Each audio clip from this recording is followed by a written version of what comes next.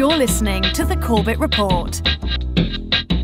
CorbettReport.com. Welcome back, friends. Welcome back to the Corbett Report. I'm your host, James Corbett of CorbettReport.com, coming to you, as always, from the sunny climes of Western Japan here on the 6th day of December 2019. You're tuned into episode 368 of the Corbett Report podcast, The Douma Hoax Anatomy of a False Flag. And as you might surmise from that title, today we are going to be undertaking a thoroughgoing exploration of the chemical weapons attack which was alleged to have occurred in Douma on the outskirts of Damascus in Syria on the 7th of April 2018.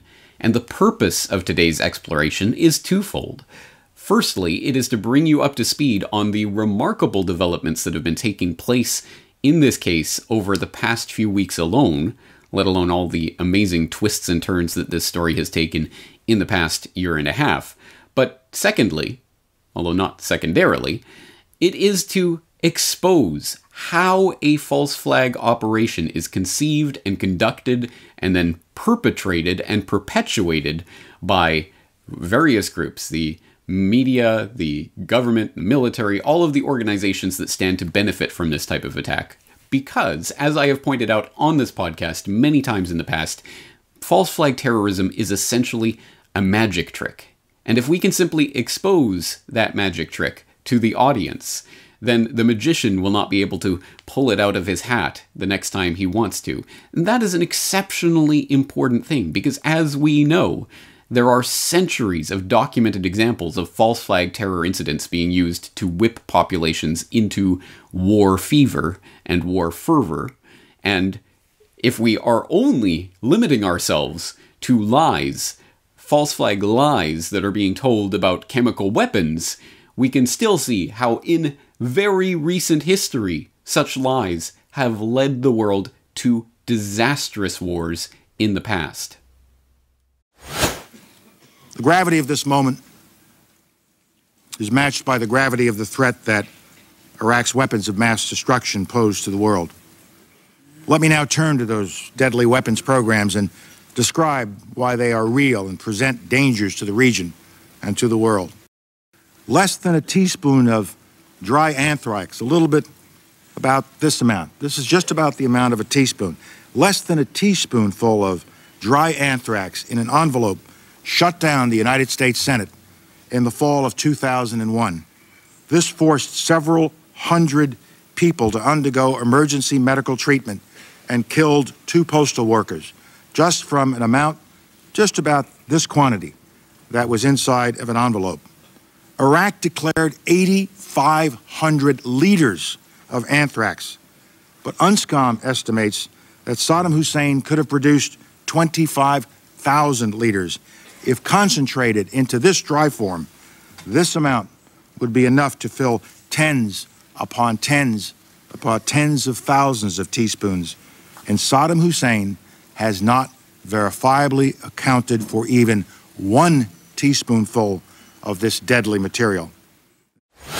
On my orders, coalition forces have begun striking selected targets of military importance to undermine Saddam Hussein's ability to wage war.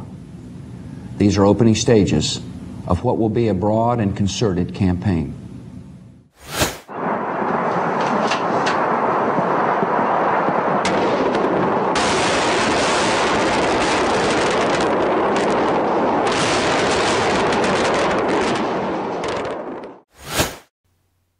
Despite the best efforts of the Mockingbird repeaters in the mainstream media to shove such inconvenient incidents down the collective memory hole whenever it comes time for a new humanitarian love bombing in some other part of the world, be it Libya or Syria or anywhere else, I think it does not need a great deal of elaboration for the general public to understand just what is at stake when it comes to these lies about chemical weapons in particular, or lies about false flag terrorism in general. And in case you don't recall, the idea of striking Syria in the wake of this alleged attack that was alleged to have taken place in Douma really did bring the world to the brink of all out warfare between US and Russia, aka the two nuclear superpowers of the world. An incredibly dangerous situation, and all brought about on the back of a series of demonstrable lies. As I say, some remarkable developments have been taking place in recent weeks to completely eviscerate the lies that have been sold to the public since this incident took place or was alleged to have taken place, which uh, are remarkable. So I will start today's episode with a caveat that this is, of course, a story that is unfolding as I am recording this, as you are watching it. It is continuing to unfold. Some remarkable revelations have taken place recently with leaked documents and emails and whistleblowers stepping forward, but the people involved in this are saying that there is more yet to come, at least at the time that I'm recording this. So uh, there is a good chance that this story will have already moved on by the time you are hearing these words, or it will be in the process of moving on. So this is not meant to be the final word on the matter, but it does hopefully bring you up to speed on this story so that we can take these documented lies and shove them in the face of the propagandists who attempt to shove these false flag incidents down the throat of the population to justify the war hysteria. At the very least, hopefully, we can take these documented lies and expose them to others uh, around us who may be more, shall we say, credulous of these lies and the liars who tell them. So, let's start with a timeline of events, just so that we're all on the same page and we all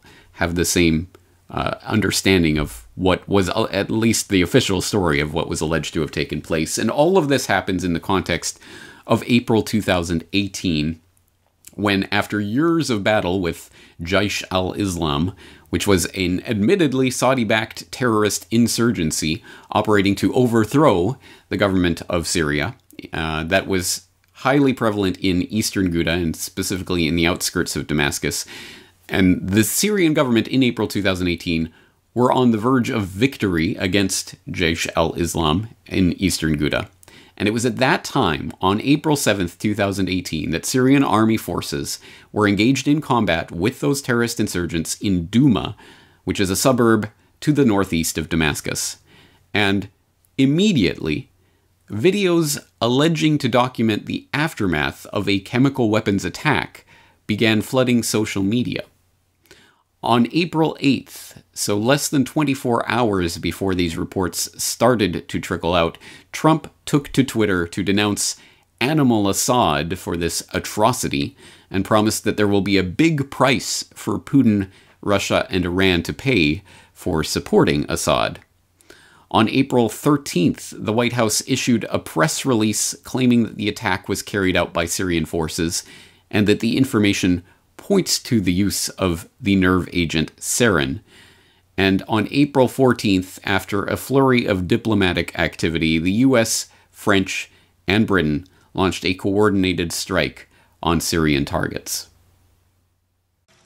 My fellow Americans, a short time ago, I ordered the United States Armed Forces to launch precision strikes on targets associated with the chemical weapons capabilities of Syrian dictator Bashar al Assad. The powerful missile attack on three targeted sites involved 105 weapons, 66 Raytheon Tomahawks, that's the U.S. military's go to, launched from three warships and a Virginia class submarine.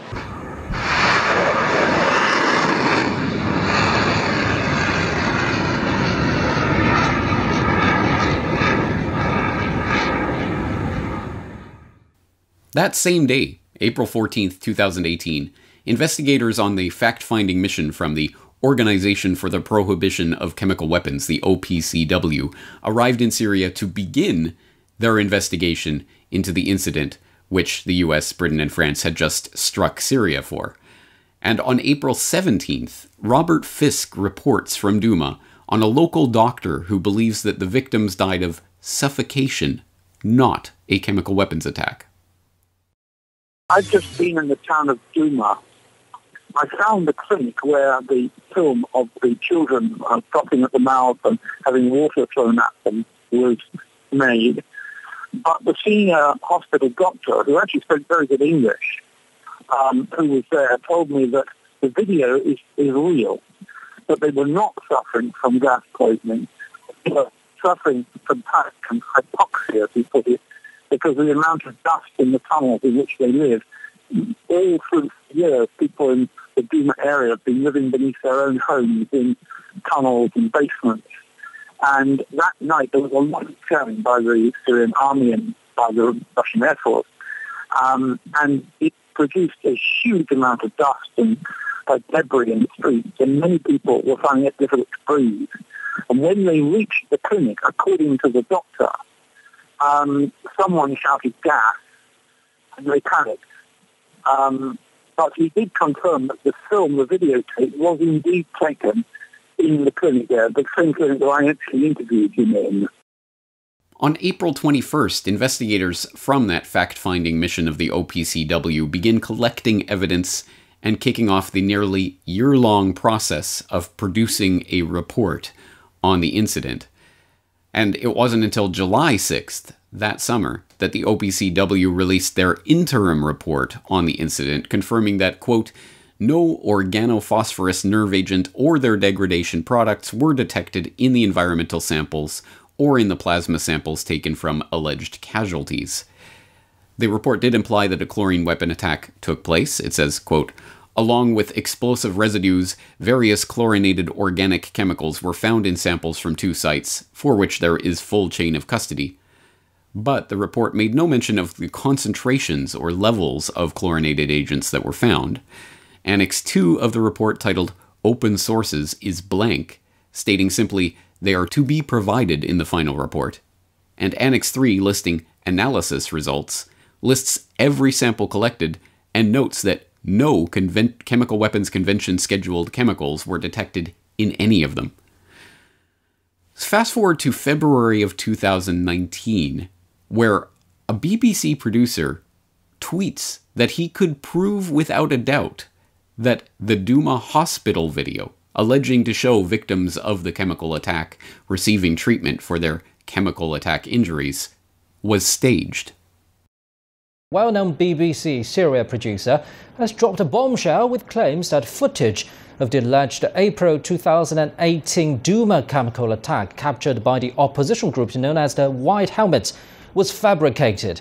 Riyam Dalati tweeted on Wednesday that after six months of investigation, he can prove without a doubt that the Douma hospital scene was staged. He also said there were no fatalities at the hospital and no sarin was used, but he noted it's not clear at the moment whether chlorine was used. The BBC has yet to respond officially to the claims.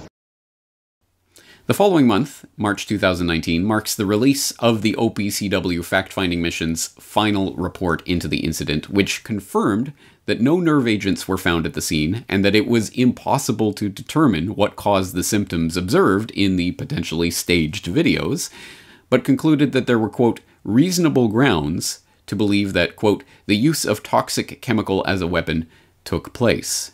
And it does say that that toxic chemical likely, likely involved some sort of chlorinated agent. Now, fast forward to May 2019 when a leaked engineering assessment by an OPCW engineering sub team emerges. The document was prepared in February of 2019, shortly before the release of the final report, and undermines the official narrative that two cylinders that were found at the scene were in fact chemical weapons delivery devices that had been dropped into, onto the, the building by Syrian government helicopters. The leaked assessment, again leaked in May of 2019 but prepared before the release of the final report, concluded that, quote, there is a high probability that both cylinders were manually placed at those two locations rather than being delivered from an aircraft.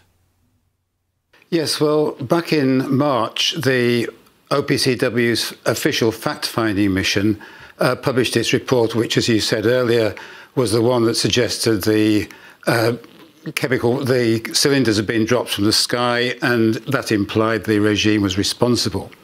Now, what we had last week was a document written by a man called Ian Henderson, who, as far as I understand it, uh, was working for the OPCW. He had some uh, involvement with the fact finding mission, but according to the OPCW, he wasn't actually a member of it. Now, it appears that uh, at some point, uh, probably late last year, he was allowed by the OPCW to do some work to basically to carry out his own assessment of what he thought might have happened. Uh, and he had some assistance, it's, again, it's not very clear how much, from a group called the Engineering Subteam. So uh, this document was then uh, leaked last week. Uh, it was written, uh, what we have that was leaked was a final, it's marked final draft. And it's dated February the 27th, which interestingly was just two days before the official report was published. Uh, we don't know exactly uh, what status this document has. Uh, one thing that some people say is that once the uh, data had all been gathered from the Douma investigation, there were internal discussions and assessments within the OPCW to uh, draw a sort of uh, collective view of what had happened. And it may be that Mr. Henderson's document was part of that, although he was taking a very different view of the situation from the one that appeared in the report eventually. On May 28th of this year, OPCW Director General Fernando Arias addressed the OPCW member states in an internal communique. He points out that the document, quote, pointed at possible attribution, which is outside of the mandate of the FFM, the fact finding mission, with regard to the formulation of its findings. He expresses concern about the leak, not the information contained in the leak, but the fact that the report was leaked, and he authorizes an investigation into how the leak took place, while reaffirming the final report's conclusions. Now, on October 15th of this year, the Courage Foundation convenes a panel of, quote, concerned individuals from the fields of disarmament, international law, journalism, military operations, medicine, and intelligence in Brussels to hear from a whistleblower of the OPCW fact finding mission team. The whistleblower, delivering a, quote, extensive presentation including internal emails, text exchanges, and suppressed draft reports, describes, quote, efforts to exclude some inspectors from the investigation whilst thwarting their attempts to raise legitimate concerns, highlight irregular practices, or even to express their differing observations and assessments. The panel, quote, became convinced by the testimony that key information about chemical analyses, toxicology consultations, ballistic studies, and witness testimonies was suppressed, ostensibly to favor a preordained conclusion, and the panel expressed unanimous alarm about, quote, unacceptable practices in the OPCW investigation. On November 15th, Jonathan Steele wrote about a new OPC whistleblower who he calls Alex.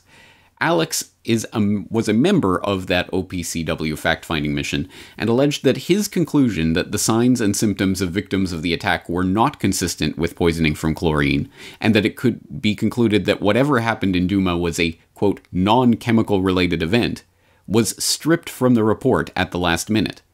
He also discovered that the actual levels of chlorinated organic compounds found at the scene had been much lower than what would be expected in the wake of a chemical attack a fact that was also left out of the report. Steele's article rec- recounts multiple interventions on behalf of OPCW management to try to placate the incensed scientists of the FFM who felt that their investigation was being undermined. Quote, on July 4th, there was another intervention. Fairweather, the chef de cabinet, invited several members of the drafting team to his office. There they found three U.S. officials who were cursorily introduced without making clear which US agencies they represented. The Americans told them emphatically that the Syrian regime had conducted a gas attack, and that the two cylinders found on the roof and upper floor of the building contained 170 kilograms of chlorine. The inspectors left Fairweather's office feeling that the invitation to the Americans to address them was unacceptable pressure and a violation of the OPCW's declared principles of independence and impartiality. End quote. Steele told BBC News that he believed that the entire incident had been a fake propaganda event staged by the Jaish al Islam terrorists to bring American intervention into the region against their Syrian enemies. He claims he was in charge of picking up the samples in the affected areas and in neutral areas to check whether there were chlorine derivatives there. And? And he found that there was no difference. So it rather suggested there was no chemical gas attack because in the buildings where the people allegedly died, there was no extra chlorine, organic, chlorinated organic chemicals than in the normal streets elsewhere. I mean, I put this to the OPCW for comment, and they haven't yet replied, but it, it rather suggests that a lot of this was propaganda. Propaganda led by? Led by the rebel side to try and bring in American planes, which in fact did happen. Then, on November 23rd of this year, just two weeks ago, one of the emails from that source was released. And that email accuses OPCW management of doctoring the Syria report. The email was sent to OPC management in June of 2008, shortly before the release of the interim report, and calls that report's conclusion that chlorine or another reactive chlorine containing chemical was likely released from cylinders highly misleading, that the chemical traces discovered could be found in household bleach, and that singling out chlorine gas as one of the possibilities is disingenuous. The email goes on to critique a number of other changes made to draft versions of the report, including removal of analysis regarding the inconsistency in victim symptoms in the potentially staged videos, and removal of extensive analysis of the placement of the cylinders. And having personally seen this email, as well as other documents from one OPCW source, Peter Hitchens writes on his blog that, quote, a source has told me that the OPCW report, which was eventually published on July 7, 2018, was stripped of a vital fact at the last minute. The traces of chlorinated material which were found at the site were so small and so easily available that they could simply not be said to show that chlorine gas was employed. The Mail on Sunday has also been told that, in the days before the original document was due to be published, a second report, shorn of many of its most important findings, was prepared behind the backs of most of the OPCW scientists. A source inside the OPCW says that this move was discovered at the last minute. It was then met with protests from scientists, including the email sent to two senior OPCW officials, which the Mail on Sunday has seen. The source says a compromise was offered in which the truth about the tiny traces of chlorine would be told, though the report would still be heavily redacted. The scientists accepted this, but even this promise was then broken, and a third version of this document was issued which left out the vital fact. The wording of this report was so vague that news organizations around the world concluded, incorrectly, that it said that chlorine gas had been used or might have been used. If the key material had been left in, they could not have done this. Since then, Dissenting scientists have sought for months to find a way of setting the record straight inside the OPCW, but all their efforts have failed, leading to the leak of the email. Shortly following this, Professor of Science, Technology, and National Security Policy at MIT, Theodore Postol, a vocal and outspoken critic of many of the lies surrounding the Syria chemical weapons allegations, not only in Douma but in Khan Shaykhun before that, joined Aaron Mate on the Pushback podcast to discuss the revelations. Well, this is why we're talking to you now. And, you know, you raised concerns about this report and you also raised concerns based on what the first whistleblower said, which is that the the physics here just did not add up. But now you have a second whistleblower who was on the ground, who collected chemical samples at the scene in Douma and said basically that there was no difference between chemical samples collected outside the alleged attack scene and uh, chemical samples collected inside the alleged attack scene. Uh, more evidence then uh, to those who saw, who reviewed the whistleblower's evidence, according to the panel that was convened, that this whole thing was staged. What is your assessment of what you've heard so far from the second whistleblower? Well, I think um, uh, it's clear from the findings of the second whistleblower that the staging effort uh, did not include the planting of false chemical evidence. Uh, that's that is to say, I'm not suggesting what the, what what the whistleblower established is that there's there isn't even false uh, chemical evidence. In the case of Khan Shaykhun, which happened a year earlier, uh, there was an attempt to uh, uh, create a, a false a false trail of um, of samples where they had, for example, they poisoned the goat with sarin, the local people who, who staged that scene, and then they provided the UN, um, uh, uh, the OPCW, with uh, samples that had been tampered with. So the U, so the OPCW in that case found sarin on the samples, but of course, it had the samples been subjected to a proper chain of custody, they would have never found any samples because the uh, the people on the scene uh, produced the sarin and then uh, used it to further uh, mislead the OPCW. Although, in that case, the OPCW also should have known there was a problem because on, in that case, the goat that was supposedly dead at the scene had drag marks behind it. So the carcass was obviously dumped from a truck and then dragged over to the location where it was shown on videos. In this case, we have a, um, a whistleblower who was on the ground, who's a real expert, and the whistleblower looked for evidence and couldn't find any evidence uh, of, uh, of chemical release. So that's further evidence of how sloppily uh, the scene was uh, staged. And it also is further is a further indictment of the OPCW for uh, not um, producing an accurate report, since they clearly, I mean, there's no excuse at any level. This uh, expert went to the person in charge of the OPCW integrity uh, analysis and reported this, and he, and he was basically shut down. And uh, there's this other report that was obviously released, the earlier whistleblower report, which was obviously done by a real group of first class professional experts. And that was uh, dismissed by this ambassador who um, is the head of the OPCW at the, at the moment. And there's no way he's doing his job if, if, if he didn't look at this uh, report.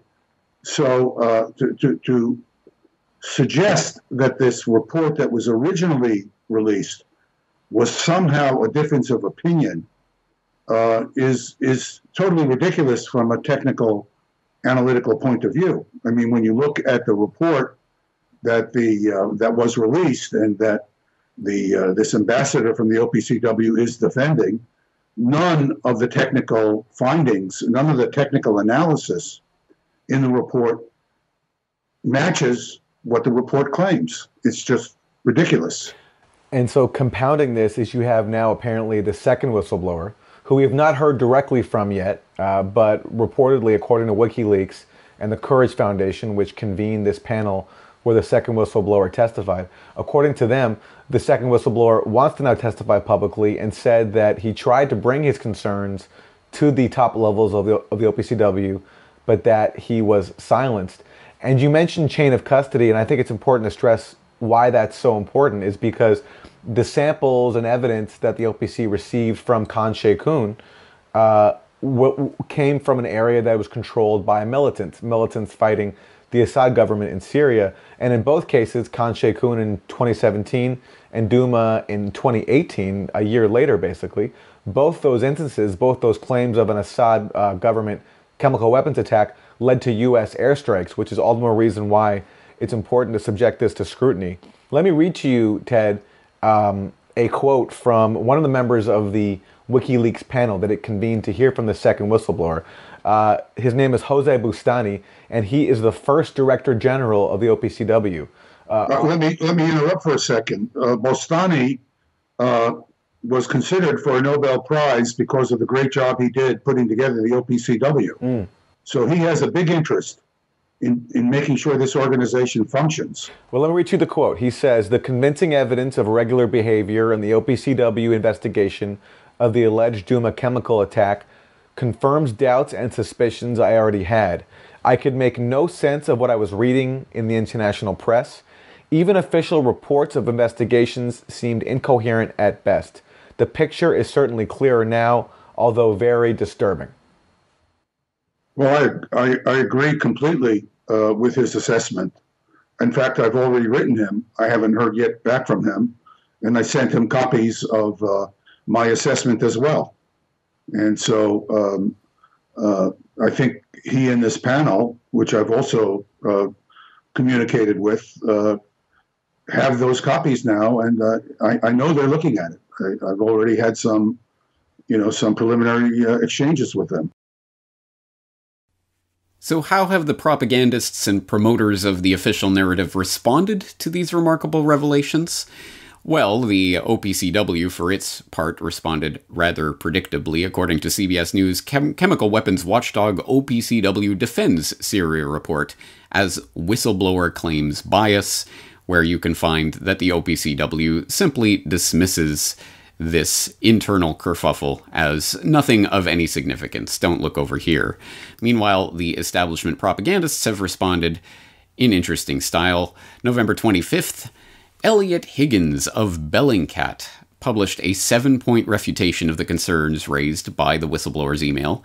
And the points that he goes through, which I will, of course, link in the show notes so that you can go and read through his refutation yourself, claim that the major issues raised in the email were in fact addressed by the interim report that was released after that email was written, and concludes that, based on this analysis, it is clear that WikiLeaks, the Daily Mail, La Repubblica, and Stunden have failed to understand the context of this letter and the final Douma report.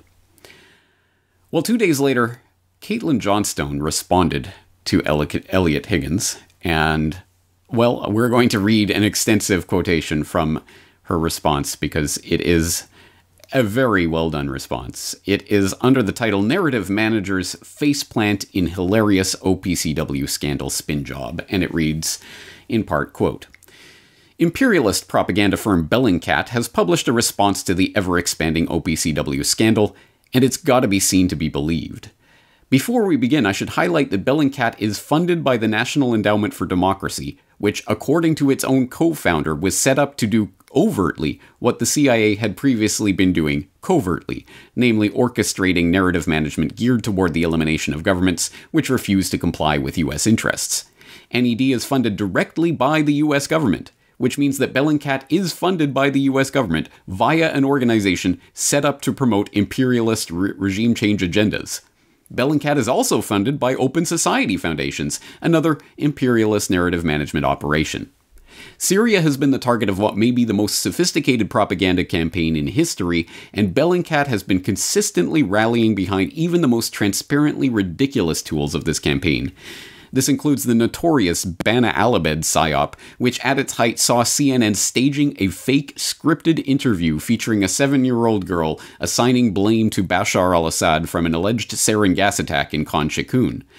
Bellingcat's stellar investigative work, which has been praised in fawning puff pieces by mainstream outlets like The Guardian and The New Yorker, concluded that this obvious propaganda construct was in fact nothing other than a little girl and her mother independently composing viral tweets, giving interviews, and authoring books about how the Syrian government must be toppled via Western interventionism.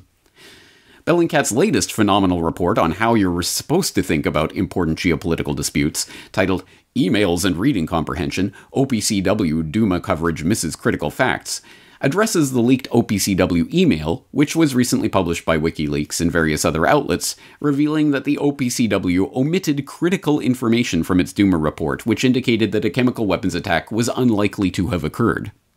I encourage you to go and check out Bellingcat's new masterpiece for yourself. Don't worry about giving them clicks. That's not where they get their money. The first thing you'll notice about Bellingcat's article is that at no point does it even attempt to address the actual inflammatory comments within it, such as the OPCW whistleblower's assertion that the samples tested where, where a chlorine gas attack is alleged to have occurred in April 2018 contained levels of chlorinated organic compounds which were so low that it would be unreasonable to claim with any confidence that a chlorine gas attack had occurred at all. The whistleblower writes in the leaked email to the OPCW cabinet chief that the levels were, in most cases, present only in parts per billion range, as low as 1 to 2 ppb, which is essentially trace quantities. As we discussed previously, early skeptics of the establishment Douma narrative highlighted the bizarre fact that when the OPCW published its interim report in July of last year, its report contained no information about the levels at which the chlorinated organic chemicals occurred. Chlorinated organic chemicals occur at trace levels in any industrialized area, so they are only indicative of a chlorine gas attack when samples test at high levels. The email said they didn't. The OPCW omitted this in both its interim and final reports. The whistleblower told journalist Jonathan Steele that the levels found were comparable to and even lower than those given in the World Health Organization's guidelines on recommended permitted levels of trichlorophenol and other COCs in drinking water. Had they been included, the public would have seen that the levels of COCs found were no higher than you would expect in any household environment, the whistleblower said. In a new Fox News interview with Tucker Carlson, Steele explained the significance of this revelation. The main point is that chlorine gas degrades rapidly in the air, so that coming in two weeks later, you wouldn't find anything. But what you would find is that the gas can contaminate or affect other chemicals in the natural environment, yes. so called chlorinated organic chemicals. But the, the difficulty is that they exist anyway in the natural environment anyway, and in water and so on. And so the crucial thing is the levels. Were there more so, higher levels of chlorinated organic chemicals found after the alleged gas attack than there would have been in the normal environment? Bellingcat simply ignores this absolutely central aspect of this email, as well as the whistleblower's point about the symptoms of victims not matching chlorine gas poisoning. In this case, the confidence in the identity of chlorine or any choking agent is drawn into question precisely because of the inconsistency with the report and observed symptoms, the whistleblower writes in the email. The inconsistency was not only noted by the FFM team, but strongly noted by three toxicologists with expertise in exposure to CW chemical weapons agents. Bellingcat says nothing about these revelations in the email, and says nothing about the fact that the OPCW excluded them from both its interim report in July 2018 and its final report in March 2019, the latter of which actually asserted the exact opposite, saying there was reasonable grounds that the use of a toxic chemical as a weapon took place. This toxic chemical contained reactive chlorine. The toxic chemical was likely molecular chlorine.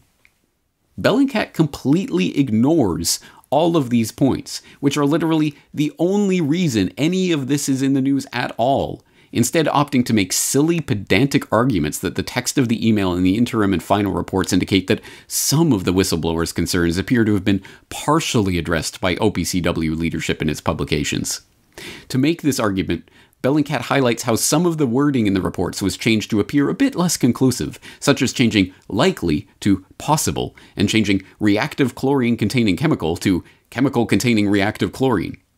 By highlighting these barely significant changes, Bellingcat attempts to spin the narrative that there was no internal OPCW cover up of its investigators' findings at all, which is, of course, invalidated by the fact that its final report concluded that a chlorine gas attack had taken place, despite the whistleblower clearly stating that there is no basis upon which to conclude this. It's also obviously invalidated by the fact that not one, but two whistleblowers have come forward, meaning they plainly do not feel as though their concerns were met. Well, she goes on to talk in much greater detail, and I will let you continue reading that article. It goes on with a lot of detail, but I think you get the point. And in case you didn't, uh, Peter Hitchens, who you recall is one of the other journalists who had directly contacted, uh, if not with Alex, this whistleblower, OPC whistleblower himself, at least an OPCW source, and had directly seen some of these emails and documents, did write his own response to Bell Bellingcat uh, just the other day in a post titled Bellingcat or Guard, Dog for the Establishment, where he wrote, quote, Bellingcat have been so anxious to trash the leak from the OPCW that they have, as many did when the attack was first released, rushed to judgment without waiting for the facts. More is known by the whistleblowers of the OPCW than has yet been released, but verification procedures have slowed down its release. More documents will, I expect, shortly come to light. One, which I have seen, is very interesting. It is a memorandum of protest, written many months after the email of protest published at the weekend. This was sent to the OPCW Director General Fernando Arias. There is some doubt about whether it ever reached him, by an OPCW investigator, one of those who actually visited Douma, on the 14th of March 2019. It has reached me through hitherto reliable sources. This is nearly two weeks after the release of the final report on Friday, 1st of March 2019, which is supposed to have resolved the doubts of the dissenters. And here's a link to that report, the uh, the final report.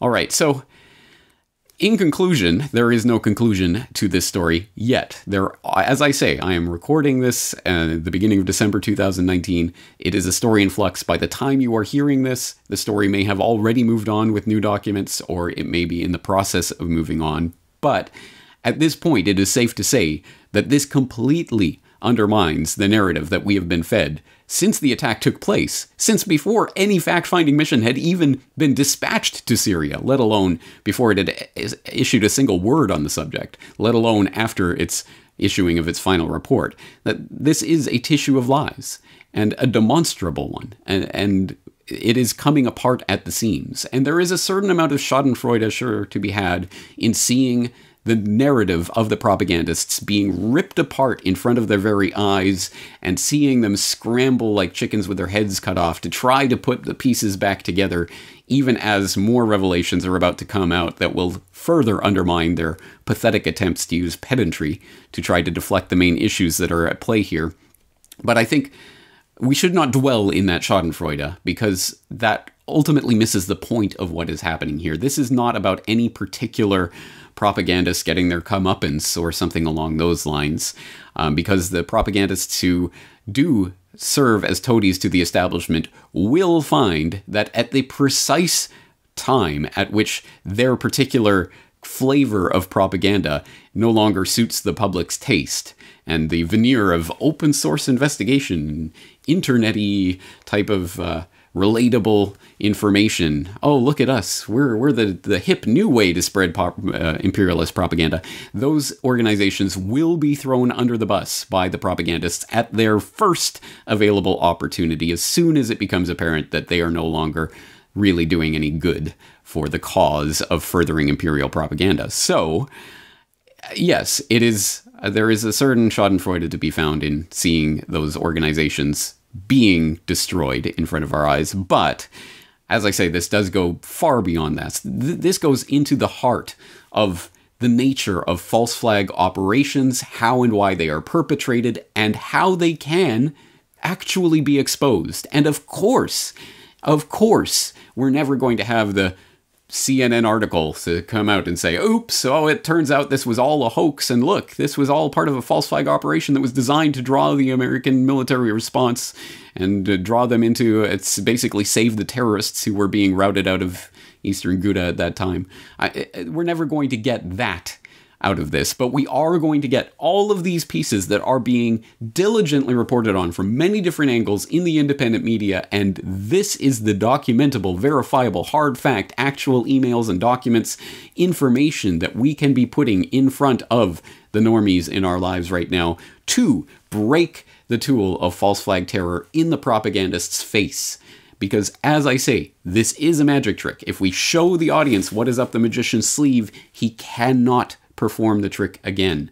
And this is not a game, this is not some sort of intellectual exercise. This is life and death. We have seen in very recent living memory how lies about chemical weapons have led to disastrous wars. And of course, they were just the tissue veneer of lies that were used to cover over and provide the fig leaf of justification for those wars. It had nothing to do with the real reason for the wars, but that's precisely the point. And if we do not fall for the same lies again and again and again, the propagandists cannot use these lies again and again and again. And the conflict in Syria very easily could come to outright military confrontation between the United States and Russia, let alone other powers. And that is truly something I think we are all highly motivated to avoid. And so it is important to be exposing this information as it's coming to light. And that's where we're going to have to leave it for today. Uh, uh, there's a lot of information already exposed. There is more shortly to come to light, or seemingly so. So I will hope that everyone will be on top of this. And please do report back to headquarters please do leave updates to this information as it ex- is exposed in the comment section at corbettreport.com so that we can continue to keep an eye on it together. I will throw a couple of other resources in here that might be useful, that I've found useful over the past year and a half of analysis of this.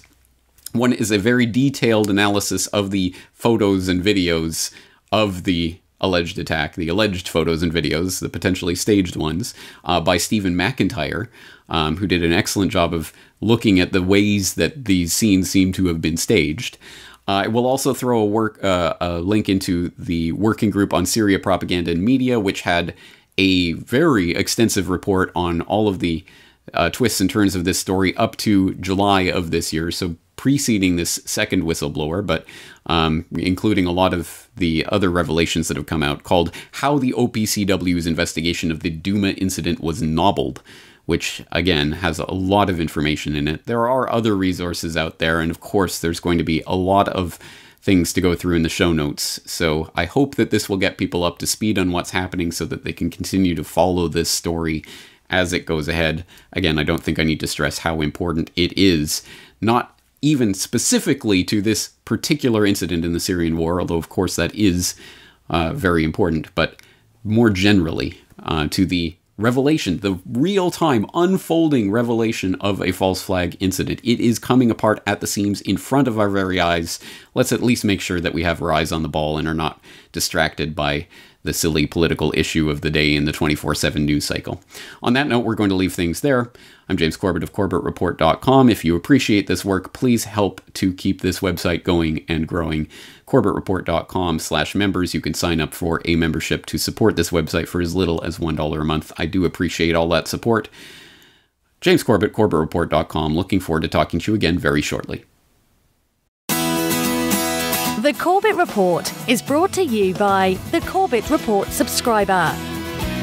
A weekly newsletter featuring James Corbett's international forecaster editorial, recommended reading and viewing, discounts on Corbett Report DVDs, and once a month, a subscriber only video.